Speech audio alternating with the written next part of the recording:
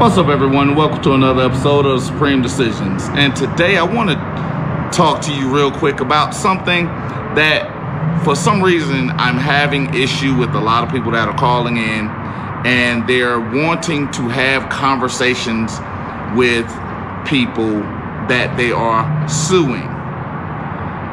Now, one of the things I talked about constantly was the fact that it's not a level playing field you have to understand the way the game is being played because that's exactly what this is. This is a game.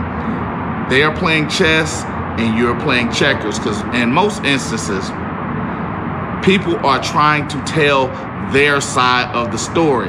And I can say it until I'm blue in the face. I've watched it. I've, hell, I've even lived it. No one cares about your side. Stop and having these conversations, and generally, I'll say predominantly, most of them are not recorded conversations. They're not scheduled conversations. And in the inst, it can be construed to be something that it's not. But this is also something that I found that a lot of people are experiencing because if it's not written, it does not exist.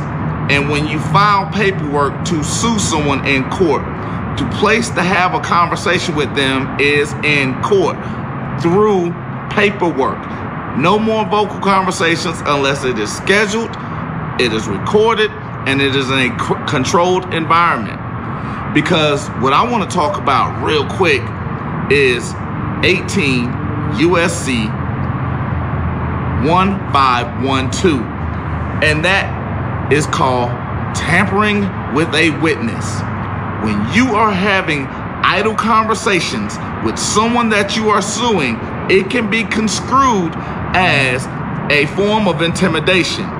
And now I'm going to read this because it goes into it makes it a federal crime or offense for someone to use intimidation or physical force to threaten another person with intent to influence the testimony of a witness within any court proceeding. The key words in this one is threaten to influence the testimony of a witness. When you're trying to convince somebody of your side, you're attempting to influence them to see things your way, and nobody cares. What's the infraction? Who committed the infraction? What are you looking for from that infraction? That is it. No one cares about, oh, he twisted my arm and I was had to go to the hospital. I received no. I was assaulted while in the custody of officer blah blah blah, and this is what result was. Here's my hospital bills. What I am looking for as remedy is this. These are the things that make your 50 page complaints, six, seven pages, because you're describing an event, you're talking about the infraction, you're looking for the remedy placed from that offense. That is it. You are not having conversations with the other side unless you schedule it, unless it's done through motion, unless there is a third party or a mediator there present that is recording it because it can be turned into a federal crime against you. Stop calling these people. Stop talking to these people. You go out, you make records of everything that you're doing. You send out things certified mail because they have to sign for them. That is your evidence that they received it.